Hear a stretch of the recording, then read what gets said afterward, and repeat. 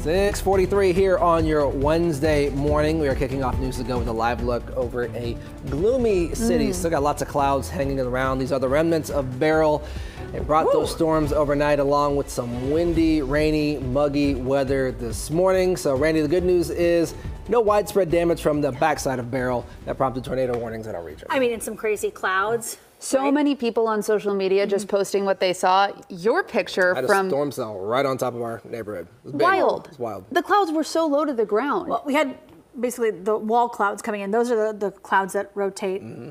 The really scary vertically. ones. Well, if you think about it, okay, there's wall clouds and there's shelf clouds. A wall is this way. Yeah. A shelf is this way. So they were rotating around a vertical axis. It makes so much sense. And so you're seeing funnel. There were a lot of reports of funnel clouds. Mm-hmm. Luckily, I mean, we did get out of yesterday best case scenario yeah. out of yeah, it for sure. So but we're still dealing with the back side of this system. So as we take a look at the live radar right now, we've got rain showers rolling through and they are driven by 20 mile an hour winds. So it's not heavy rain, but it's not pleasant when you get hit with it coming at you at 20 miles an hour. Uh, right now, the 275 loop shows some pockets of showers. You can see some light rain just crossing through the west side from Cheviot to Delhi, Wyoming and Glendale seeing some light rain. A little bigger pocket right now, Newtown into Terrace Park and Milford, uh, over toward Clermont County, even Brown County getting in on a couple of light rain showers.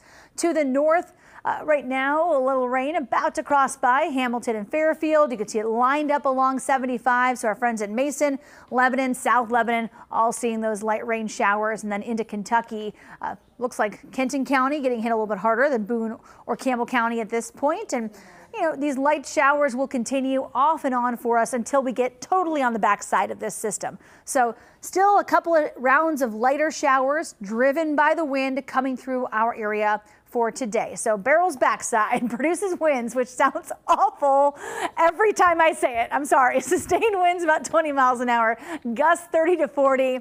And then temperatures today, stuck in the 70s. You're going to notice when you step outside this morning, it is incredibly muggy. It will eventually turn less humid as we get into the late afternoon and evening. So dealing with Beryl for one more day. There's a warm up for the weekend, and we'll talk about how long the less humid air will linger coming up. Stephen? Thanks so much, Randy. A lot of backside talk this morning. Backside but, you know, That's, that's, that's the news story today. All right, overnight, this weather did leave some damage in our area. This yeah. is a look at a home on Euclid Road in Columbia Township. The homeowners tell us a 100-year-old oak tree fell on their home, waking them up in the middle of the night. The family tells us there's now a hole in the roof, and they're still waiting on Duke crews to help get those wires cleaned up. But the good news here, nobody was hurt. Yeah, and we're leading the way with breaking news after two early morning crashes, both of them on 75. The first one happened shortly before 2 a.m. on northbound 75 near the Norwood Lateral. Two semi trucks crashed fully closing the northbound lanes for hours. Thankfully, we're told nobody was hurt in this crash. The lanes reopened shortly after 4 a.m. Now, while crews worked to clear that scene, another crash happened in the southbound lanes just north near Paddock Road. Right now, it's not clear if anybody was hurt, but as you see on the video of your screen, that Prius pretty badly damaged on the front and the back. Megan, she has been watching traffic for the last hour. Hopefully nothing to slow people down as they head out to work. And that always is the hope, Stephen. In fact, it's not too bad right now. This is one accident we're looking at on 133, a crash near Happy Hollow Road. Besides that, the big map is pretty good. Um, the only other things that we're looking at is a shoulder that is uh, is down because of a crash that happened on 275 that is near Mosteller Road. Besides that, though, not too bad this morning. The big map looking very, very good. One thing to keep in mind is that because of the storms last night, because there's still some lingering precipitation, the roads are pretty wet this morning. That's that uh, shoulder down at Mosteller Road that I mentioned. So if you are headed out this morning, there is the potential for things to be a bit more slippery than you're used to. Just keep that in mind as you head out. Travel times right now, not too bad. We'll keep you updated as the morning goes on, Stephen. All right, Megan, 647 coming up on 648. More support today for the city of Florence following Saturday's deadly birthday party shooting. It directly changed the lives of seven families, but the entire community came together last night for the four people killed and the three others still recovering. WLWT News 5's Danielle Dindak is live in Florence with how this community is navigating through tragedy. Danielle.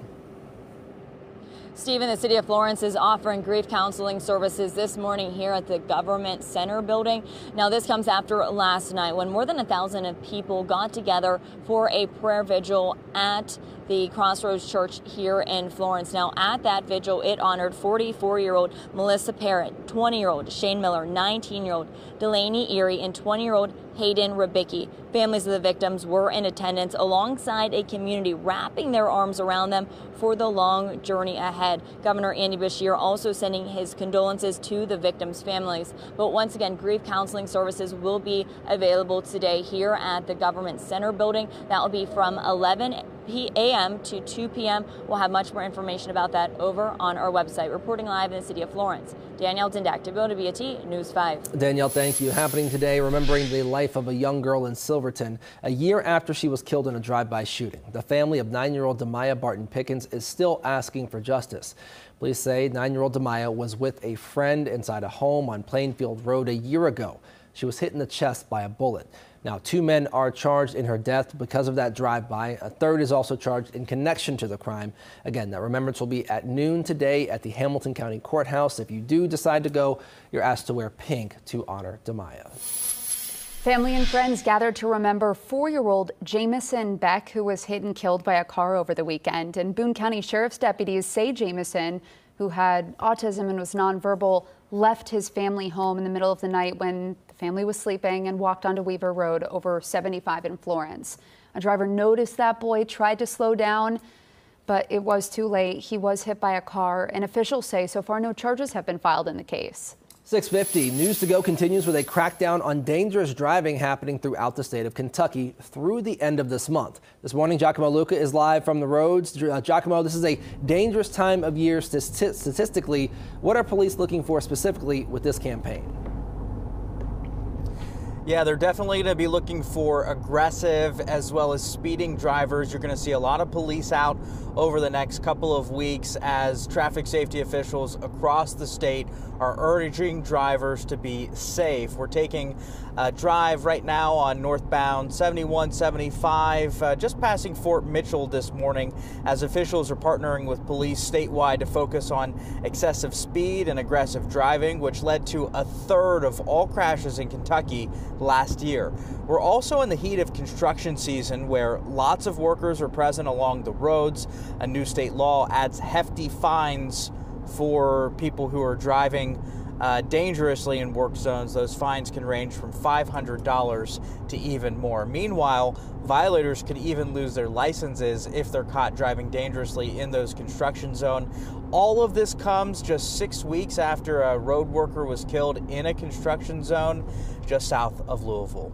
We're live this morning on 7175 northbound. Giacomo Luca, WLWT News 5. Thank you, Giacomo. Developing out of northern Kentucky, a hit and run in a Kroger parking lot. It happened at the store on Dixie Highway in Fort Mitchell around 6:30 last night.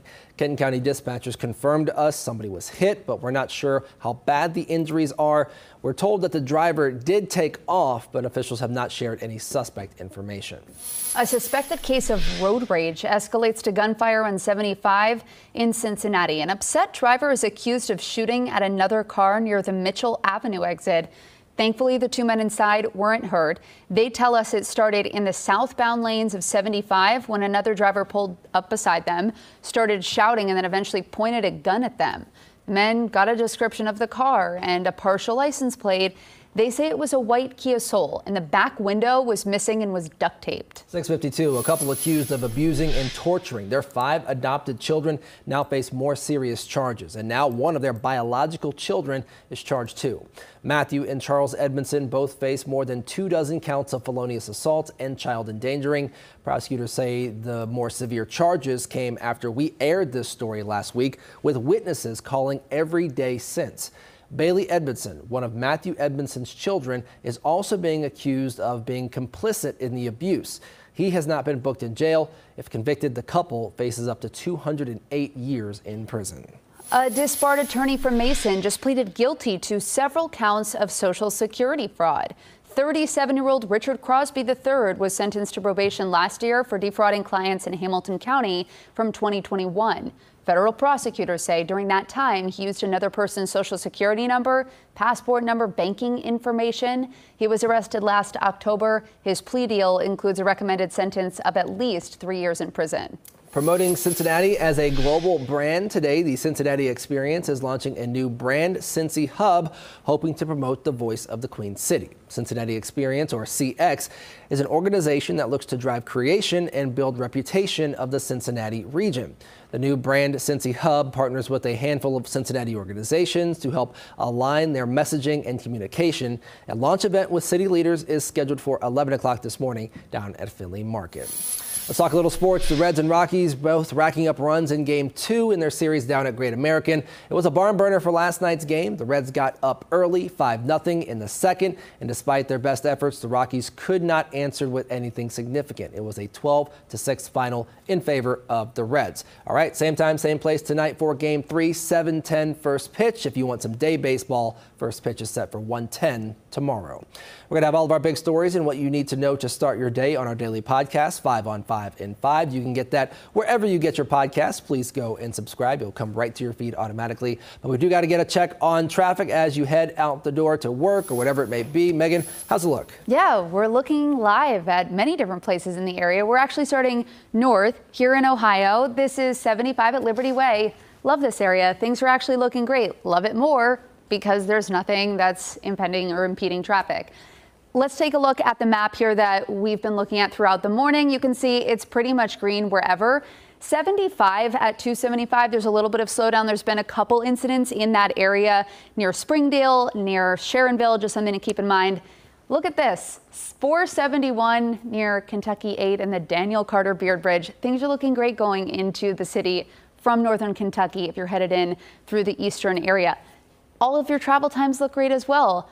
The only thing to keep in mind is that the roads are wet and it is still somewhat raining throughout the morning, Randy. It is wet, it is windy, and it is incredibly humid outside to start the day. The live radar still showing rain showers drifting through, driven by about 20 mile an hour winds. So these are uh, coming at you this morning and will be with us off and on as we head through the first part of the day. As we look inside the 275 loop, you can see rain showers about to pick up again uh, along the Norwood Lateral and in through downtown. Some light rain right there over top of Sharonville. Also rain showers Loveland to Goshen. Made it over to Highland County again and up in portions of Butler and Warren counties. You can see Fairfield seeing some light showers. Same thing all along 75 from Liberty up toward Mason in through Lebanon and Springboro. So for today, 70 right now, dealing with the rain and the gusty winds.